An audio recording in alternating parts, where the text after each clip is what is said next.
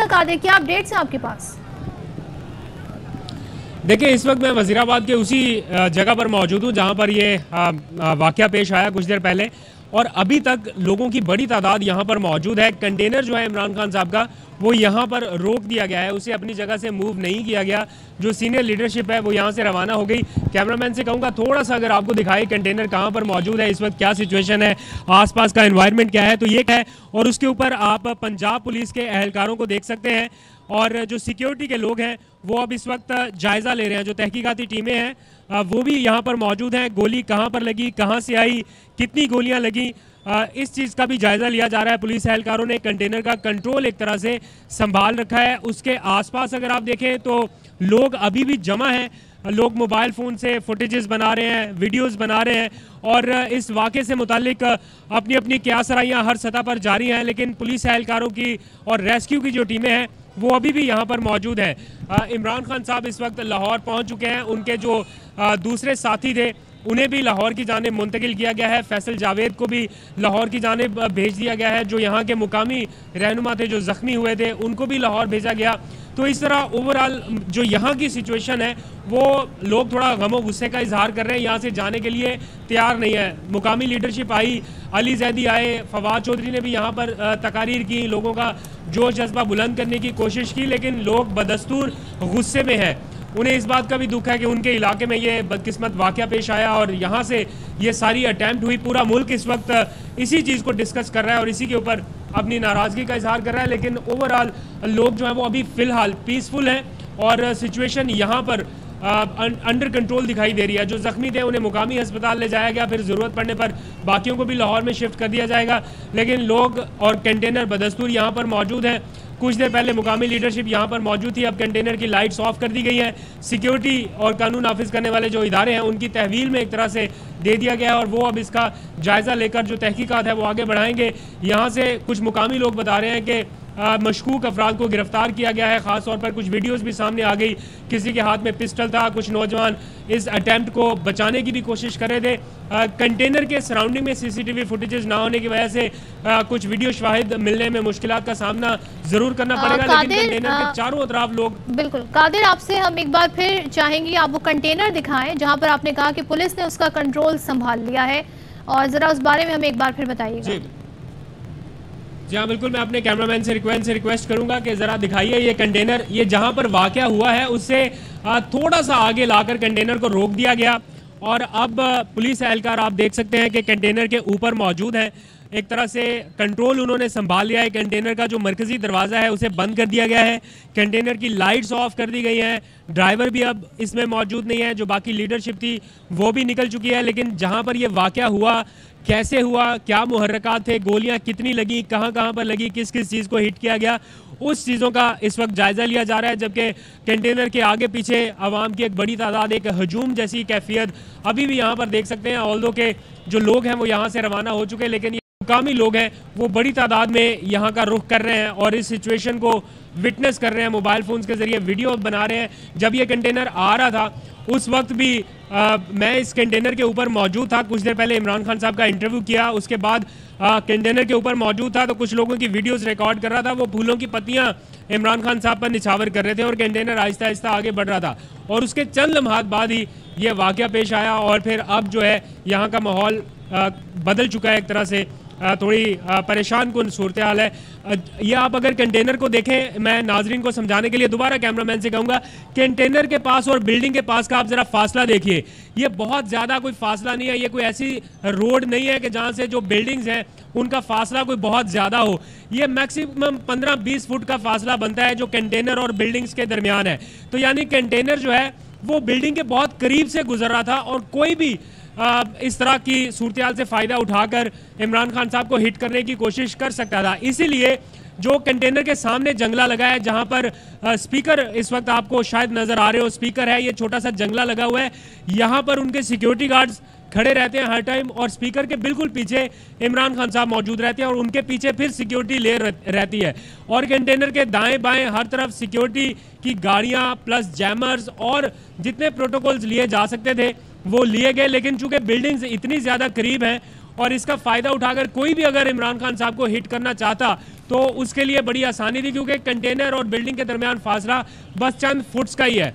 तो इसलिए ये सारी सिचुएशन डेवलप हुई और फिर अटैकर किसी बिल्डिंग पर नहीं था वो हमलावर वो बल्कि उसने कंटेनर के करीब आकर वो यहाँ पर रोड पर, सड़क पर मौजूद था। वहाँ से उसने बर्स्ट फायर किया। जी, आप बिल्कुल ठीक कह रही हैं। आप बिल्कुल ठीक कह रही हैं, लेकिन चूँकि इतलात ये है कि हमलावर एक से जायद थे और बिल्डिंग के ऊपर भी कुछ लोगों को शुबा है कि कुछ मशकूक अफराद थे।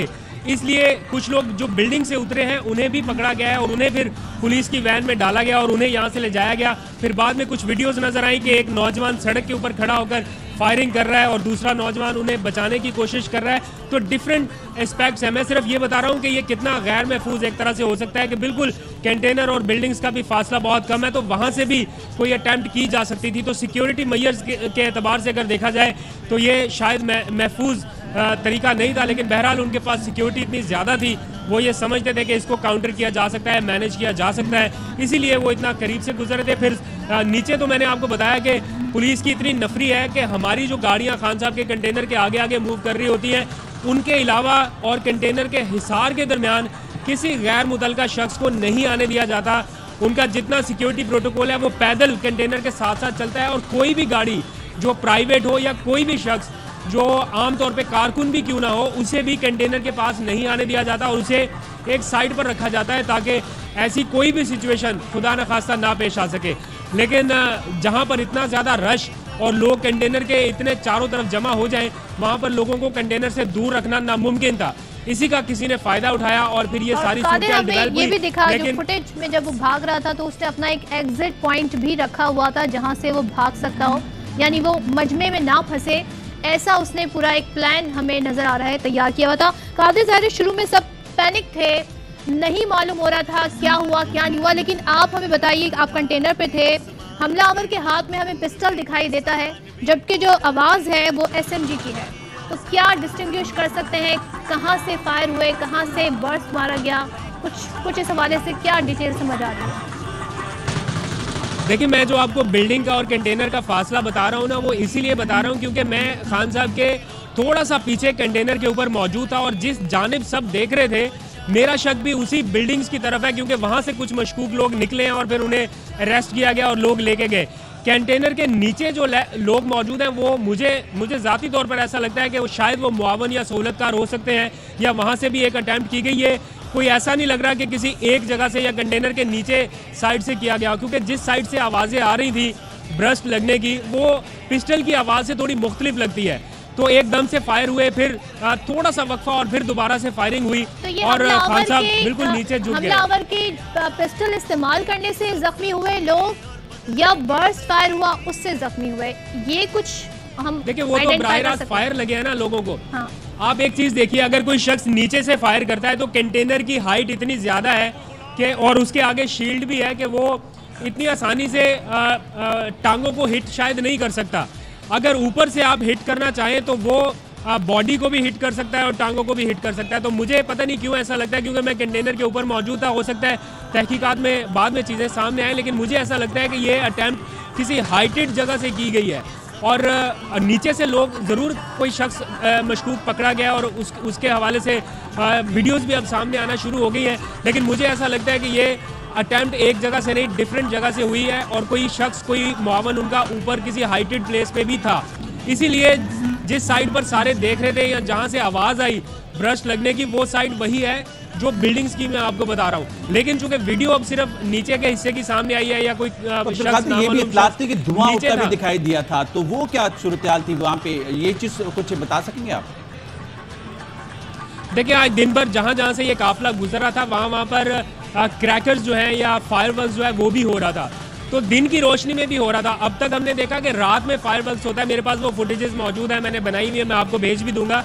आप अपने नाजरन को दिखाइएगा कि दिन के वक्त भी जहाँ जहाँ से इमरान खान साहब का काफिला गुजरा था, वहाँ पर फायर दिन की रोशनी में हो रहा था। तो उसका भी धुआँ कहीं कहीं पर था। लेकिन जिस जगह पर यह वाक़ पेश आया वहाँ पर ऐसी कोई सिचुएशन नहीं थी, कोई फायर नहीं था। इसीलिए इब्तदाई तौर पर जब ये हुआ तो मेरे अपने जहन में भी यही था कि ये शायद किसी ने फायर किया है, क्योंकि जहाँ जहाँ से खान साहब का काफिला गुजरता था तो वो शुलियाँ पटाखे जो कुछ भी है वो चलता है। लगभग उसकी आवाज़ भी ऐसी रहती है और लोग एकदम से डरते हैं, लेकिन फिर लोग समझ जाते हैं कि अच्छा ये था। इस बार जब हुआ तो फ्रिक्शन ऑफ़ सेकंड के लिए मुझे भी ये लगा कि ये कोई फायर जैसी सिचुएशन है, लेकिन जैसे रिपीटेडली ये सब हो रहा था और इसकी साउंड इतनी ज़्यादा थी और फिर कंटेनर के ऊपर एकदम से आवाज़ें आने लगी कि गोली चल गई गोली चल गई।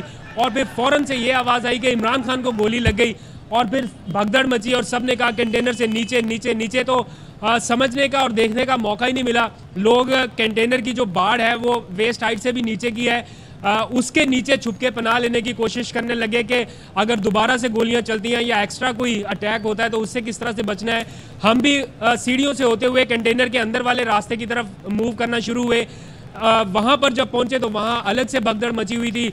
ऊपर से इतला नीचे पहुंचाई जा रही थी कि अटैक हो गया गोलियाँ लग गई और फिर खान साहब की जो सिक्योरिटी थी वो शोर शराबा करने लगी कि एवरीवन मूव एवरीवन एक तो ब्रश पूरा फायर हुआ उसके बाद एक सिंगल फायर भी हुआ। मतलब अलग अलग फायर हुए हैं यहाँ पर हमने बाकायदा आवाज़ सुनी है ये चीज़। देखिए ये कहना कबल अज वक्त है लेकिन मुझे ऐसा लगता है कि ये अटेम्प्ट एक जगह से नहीं डिफरेंट साइड से हुई है। क्योंकि जिस तरफ़ मेरा माइंड जा रहा है, वो बिल्डिंग के ऊपर की साइड से जा रहा है कि शायद वहाँ से किसी ने कोई अटैम्प्ट करने की कोशिश किया है, क्योंकि नीचे से इमरान खान साहब को निशाना बनाना थोड़ा सा मुश्किल भी है और उनके जिस तरह आप बता रहे हैं कि पाँव को हिट किया, आप तो इतलात आ गया कि उनके पाँव को गोली लगी।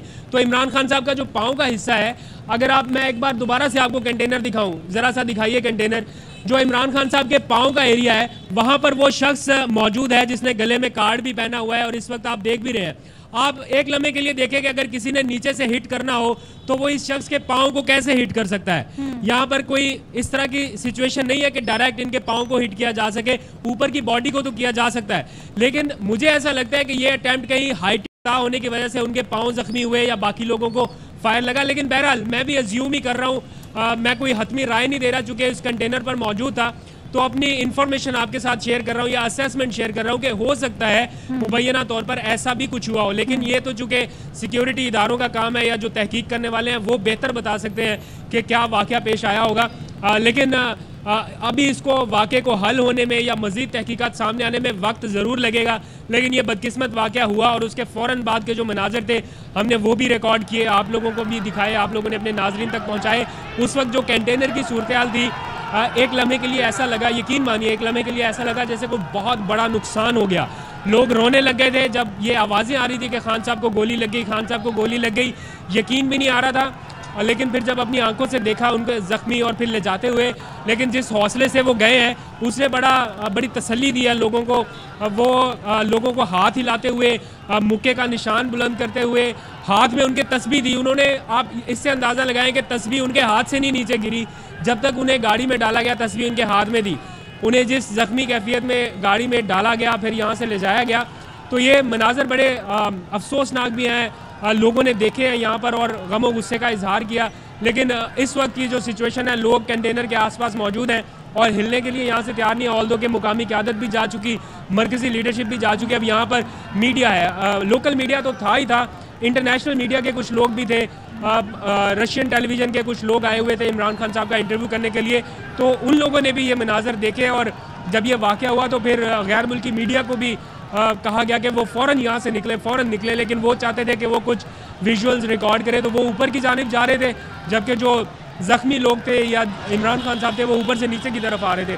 और इसी दौरान हम भी बाहर निकले। जब बाहर निकले तो देखा कि कुछ और लोग भी ज़ख्मी थे।